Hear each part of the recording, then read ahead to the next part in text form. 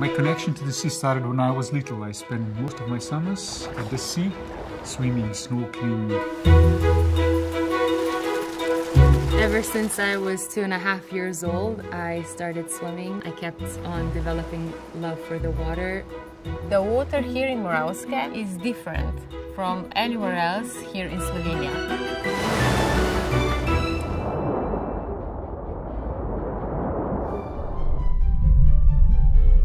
As a Slovenian, I feel like water is a part of my DNA. The part of the country where I'm from is surrounded by lakes and rivers and waterfalls and it, there's something so healing about water. I love, I love the sound of it. Um, it kind of puts me into a meditative place.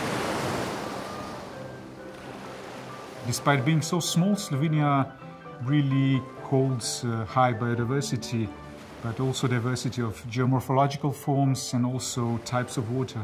We have these lively alpine rivers flowing down the mountains and meeting the sea, the Adriatic Sea, and bringing in nutrients, minerals that support high productivity and diversity. This place is special because it's like a perfect union of man and nature. It's very contemplative and good for humans and animals and plants living here. You would not think at first sight, but also the mud here is good for us. Putting it on, feeling how it works on the skin, it's amazing. The same way as the landscape, the land and the waters change along the Slovenian coast. So five minutes from place to place, the mud can be completely different. Lake Bohinj is really special. It's the biggest permanent lake in Slovenia and it's also a lot quieter than the other lakes, which makes it that much nicer to be in. What makes me most happy though is that this beautiful nature is only an hour away from our very busy city in Ljubljana, so that makes it extra special. One of the things I love the most is how I can fill my water bottle up, uh, whether it's opening tap water or going by the mountain where there's a water source. Waters in Slovenia taste different wherever you go, and one such uh, area is Rogaška, where water is full of magnesium and it's very beneficial for your health.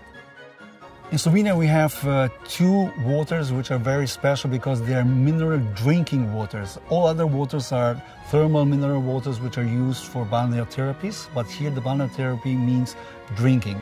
Donat Mg mineral water has been attracting uh, people here for centuries because it is the mineral water with the highest content of magnesium. No other water in the world has more than 1,000, exactly 1,040 milligram of magnesium in one liter. The black mineral water comes um, from deep underground in Zaramula Basin. They call it black gold because high concentration of healing substances and it has beneficial effects on health. I prescribe patients a program in the morning patients might have bathing in water and in the afternoon they can have mud treatment.